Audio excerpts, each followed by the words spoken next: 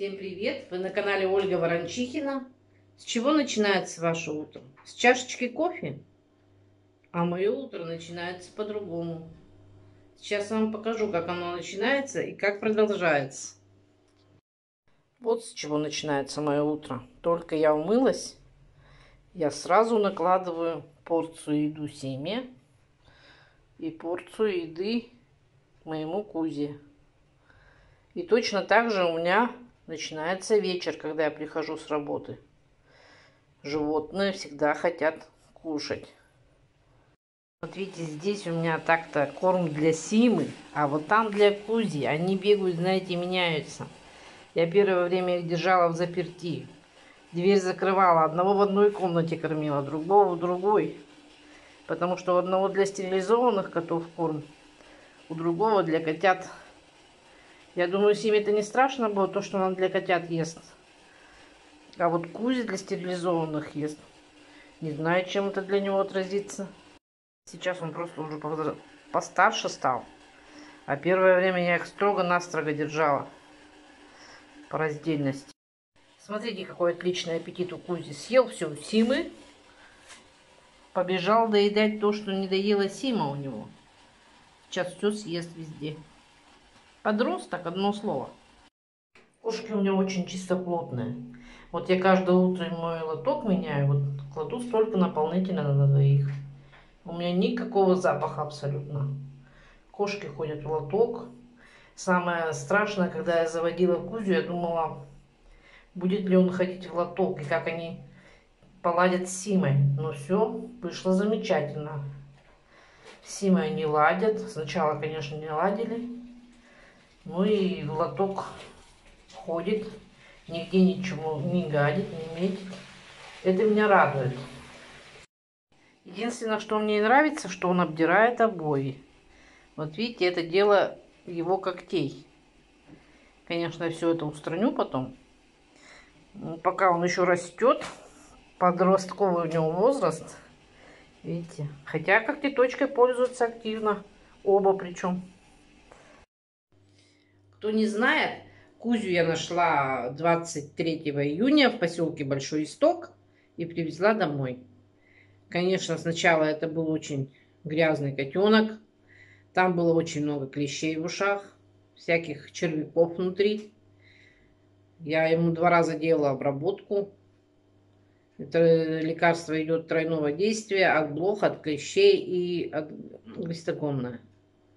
Еще ушки еще закапывали капельки барс. Но в результате все у нас хорошо стало. Сейчас я его поставила, значит, прививку. Комплексную сначала первую вакцинацию, потом мы сделали ревакцинацию этой прививки и от бешенства. Сейчас нам нужно вставить ему только через год. Э, прививка такая же тройного комплекса, э, как значение, действие. Там она идет от трех болезней. От чумки кошачьей, там еще от чего-то, не помню. И еще одну прививку от бешенства. Все делается за один раз. Ну и еще я его кастрирую. Где-то в середине ноября, наверное, пойду. Потому что по возрасту мы определили с врачом, что он э, родился где-то в апреле, может в начале так апреля. В общем, в октябре, вот ему в начале октября будет 6 месяцев. А котиков кастрируют, ну, лучше в 7 месяцев их кастрировать. И я уже, чтобы подстраховаться, пойду после половины ноября, чтобы ему точно было уже 7 месяцев. В общем, котик такой пришел сначала, они так с Симой не дружили. Конечно, она его встретила так агрессивно. Но потом они со временем, конечно, подружились. Сейчас они друзья лучше. Но, конечно, у них сейчас бои на фоне того, что у него гормональный фон сейчас уже прыгает, потому что он же подросток. Ему уже требуются кошечки, а она у меня девочка стерилизованная. Так вот, хороший кот, все. Единственный вот, ну, что обои рвет, я вам показала, да, недостаток. Но это со временем пройдет. У меня тоже маленькая Сима, она висела на шторах опять. Этот на шторах не висит, но рвет обои. какой у него недостаток, еще на столы лазит. Вот знаете, вот Сима у меня совершенно равнодушна к любой еде с моего стола. Будь то колбаса или рыба. У этого совершенно другое уже. Все, чтобы он не услышал, ему надо вот проверить, что там на столе. Если рыбу я разделаю, он прямо вот лезет туда. Приходится постоянно его выгонять. А так хороший котик, славный. Значит, они подружились с Симой. Он как-то хорошо влился в нашу семью. Так что нисколько не жалею, что его подобрала. Вот посмотрите, что делают мои кошки. День и ночь у них одна битва. Кузи сейчас в таком возрасте подростковом. Его скоро надо будет кастрировать. И он прямо Симе покоя не дает никакого. Бедная моя девочка. Да. А здесь у меня что? Здесь у меня закипели овощи на аджику. Я взяла 3 килограмма перца болгарского, 2 килограмма помидор, 300 грамм острого перчика, полкило чеснока. Сейчас я буду сюда добавлять 40 миллилитров уксуса столового, 100 миллилитров масла растительного, 40 грамм сахара и 40 грамм соли. Сейчас все перемешаю, поставлю на медленный огонь и пусть варится полтора часа. Потом разложу по стерилизованным банкам. И аджика на зиму готова. Ну что ж, процесс запущен, и его не остановить. Крышки я помыла содой. Они у меня стерилизуются. Баночки, как видите, я подготовила содой, помыла. Тоже стерилизуются. Аджика кипит. Будем ждать конечного результата.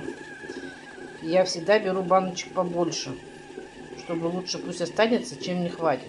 Я думаю, что одна-то банка здесь точно лишняя. В общем, сейчас я подготовлю полотенце и буду ставить на полотенце готовые баночки.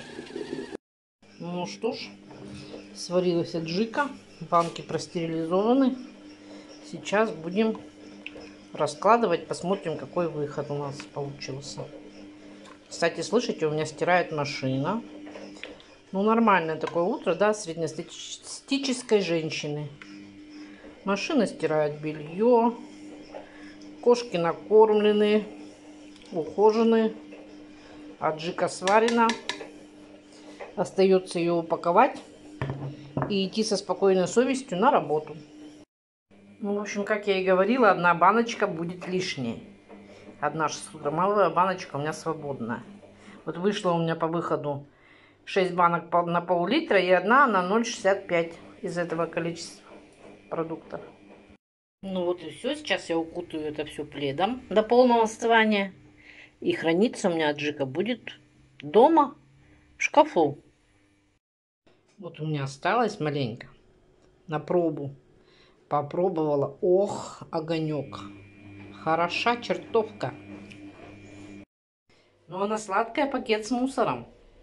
Когда я начинала вести канал, я всегда утро свое продолжала тем, что выбрасываю мусор. И сейчас то же самое. Я говорила, что я мусорная королева, вот это точно. Короны у меня нет, а мусора полно. Ну все, ребятки, всем пока-пока, удачного дня. С вами была Ольга Ворончихина и мои кошечки Кузя и Сима. Пока-пока.